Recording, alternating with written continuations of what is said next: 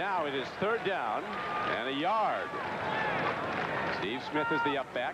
The pitch back. Chris Warren turns it up, turns it in. He's inside the 10. He might take it in. He's down to the five-yard line. And face, face mask call against the Steelers. Levon Kirkland trying to save the touchdown, grabbed Chris Martin by the face mask. The distance to the goal, which in this case Tad's about a foot closer. Don, I, am sure that you feel the same way I do. I am becoming more and more impressed with this man right here. Again, he doesn't have the flashiness of the Barry Sanders. He doesn't have the speed of a Marshall Faulk. He doesn't have the power of a Jerome Bettis, but he has a unique combination of all three.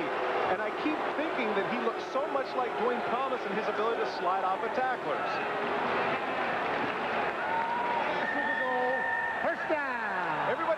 Here. He makes the cut to the outside. Now watch how he breaks through the tacklers. It's not with the big stiff arm right there.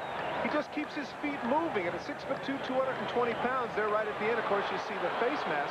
But I'm more and more impressed with Chris Warren.